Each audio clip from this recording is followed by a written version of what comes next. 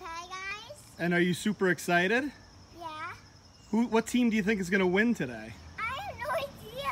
Well, it's Glen Rock versus Glen Rock, right?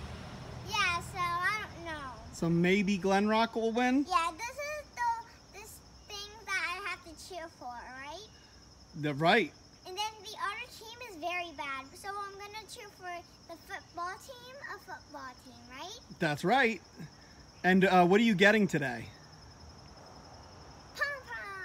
Right. I got everything except pom poms. and you're gonna just cheer your heart out, right?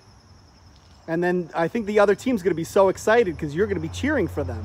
Okay, guys. Okay, so we're gonna see you when we go, or when we're gonna get there.